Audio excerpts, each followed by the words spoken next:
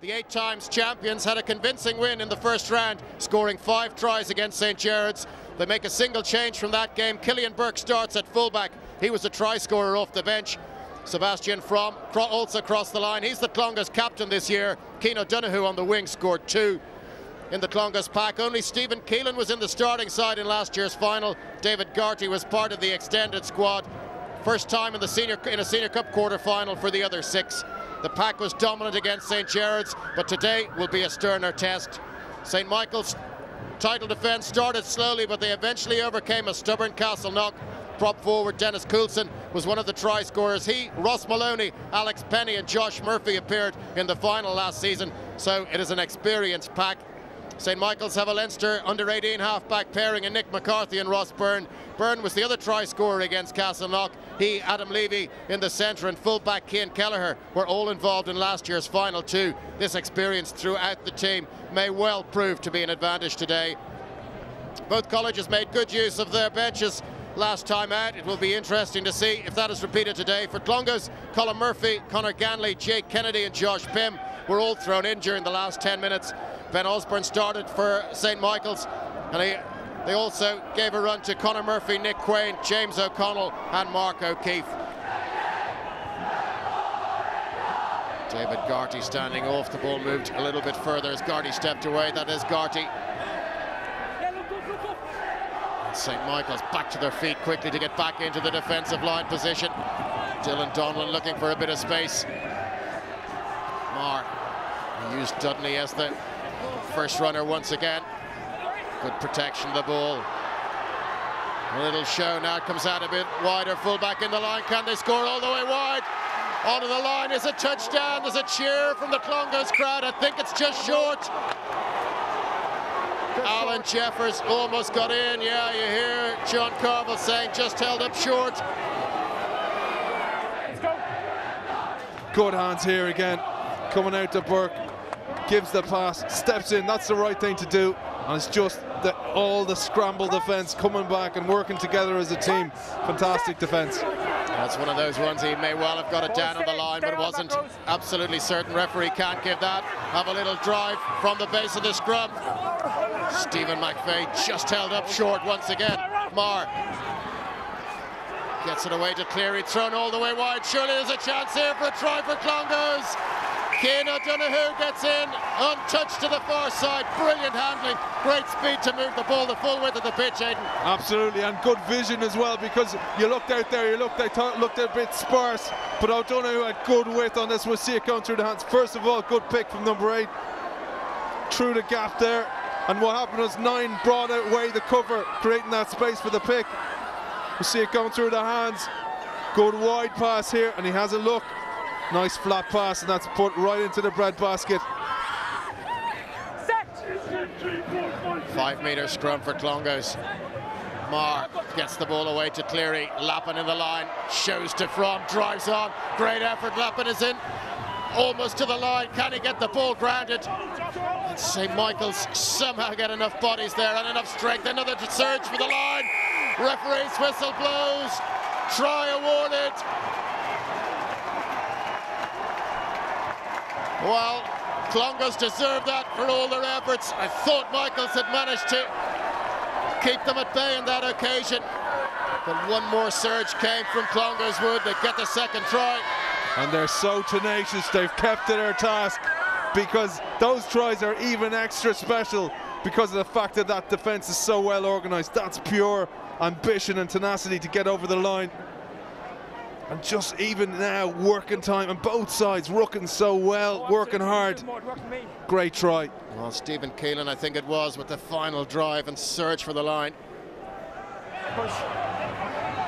Oh, Michaels, you sense, have to get something from this passage of play. Quick hands again. Is there an opportunity wide? Just a little slip before the pass could go. Clongowes swarm in, the referee's arm is out, it's advantage St Michael's. I didn't hear the call, not sure if it's going to be a scrum or a penalty. No, no. Now it comes away again for St Michael's, still advantage they're playing, surely they can get in here. Pass popped out of the tackle, drive for the line, Clongowes get there to stop it, no they don't. Michaels are in for the touchdown. and nothing more than they deserve, Aidan. They over and back they went. What a try by Redmond. What a team try and what defence by Clongowes. This is a fantastic game of rugby. The defence out wide over that far side, absolutely fantastic. Ross Byrne here, look at his pass. Presence of mind to know that's where the space is and that offload was key. Look at his strength here. Eventually getting it down. Brilliantly taken by, Fro by the scrum half mark. Now Byrne puts it all the way wide. It could be three against two here. Adam Levy's waiting for the pass back inside. Stumbles through the tackle. Push. And St. Michael's come once again. The tackles have to be important. Coulson onto the ball. Can he stretch for the line? Try for Dennis Coulson. The big prop forward. Powers his way over the line. Will that be enough for St. Michael's? Or can Clongowes come back? But the score was coming. It sure was. They were knocking on the door. What a fantastic try. We'll see it here again. Kelleher does really well here. Will you see this? Holding it up, holding it up, giving it inside to Levy. That was the key break. Levy wasn't held. Going through the hands here again. Byrne holding it up. Look at this offload. Fantastic stuff. And then Coulson, we saw a fantastic try from him last year as well. That's a great try. Well, Ross Byrne has kicked three out of five. The two misses will be all forgotten. If he puts this over, it will give his side an eight point lead. Ross Byrne makes no mistake from in front of the posts.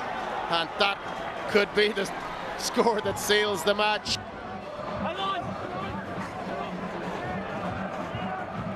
They know Clongowes have to attack and attack from anywhere.